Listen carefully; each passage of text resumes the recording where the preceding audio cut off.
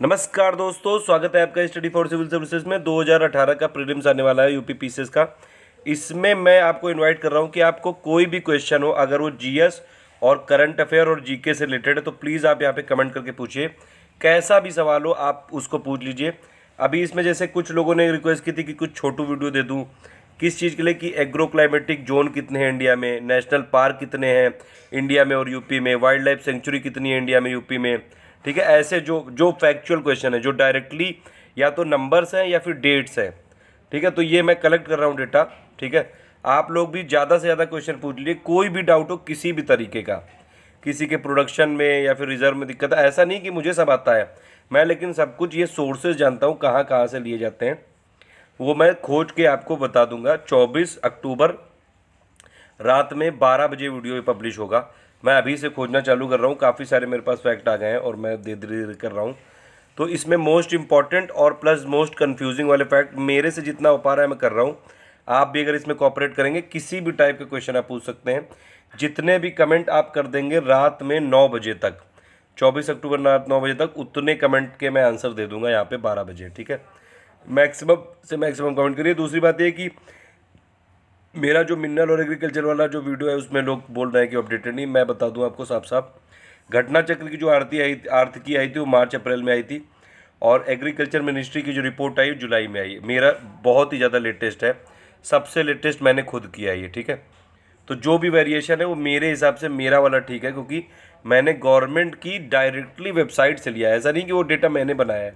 मैंने वेबसाइट से पूरी खंगाली है पाँच पाँच सौ पन्ने की पूरी रिपोर्ट पढ़ी है।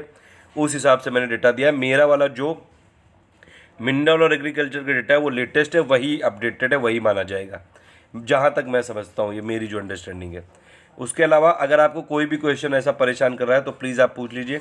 कोई आलतू फालतू सवाल मत पूछिएगा, कोई भी उल जुलूल सवाल के जवाब जो है उल जुलूल ही मिलेंगे। अगर आपने बहुत ही सेंसिबल तरीके से लॉजिकली तरीके से पूछा है, बिल्कुल लॉजिकली तरीके से मिलेगा। जो जिस भाषा में बात करता है, ज़्यादातर मैं कोशिश करता हूँ कि मैं उसको उसी भाषा में समझा सकूँ। ठीक है? आप मेरा मतलब समझ गए होंगे, भैया जी और बहनी जी, दोनों लोग। तो प्लीज़ आप लोग जितने आपके पास क्वेश्चन हो, यहाँ पे कर लीजिए। किसी भी टाइप का अगर कन्फ्यूज़न हो तो यहाँ पे पूछ लीजिए। नौ बजे तक पूछ लीजिएगा बस। नौ बजे रात तक पूछिएगा, उसके बाद मैं क्वेश्चन नहीं ले पाऊँगा। बारह बजे वीडियो पब्लिश करूँगा। तीन मैं डाउट की सीरीज़ ऑलरेडी पब्लिश कर चुका हूँ। जो डाउट्स हैं या फिर मोस्ट जो कन्फ्यूजिंग क्वेश्चन है उनके। यूपी पी ऐसा एग्ज़ाम है, जहाँ पे डेट्स भी पूछ लेते हैं इवन नंबर्स भी पूछ लेते हैं।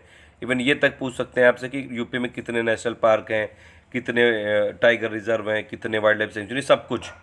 आप इसमें जो आपके मन हो वो पूछिए। G K G S current affair से रिलेटेड होना चाहिए।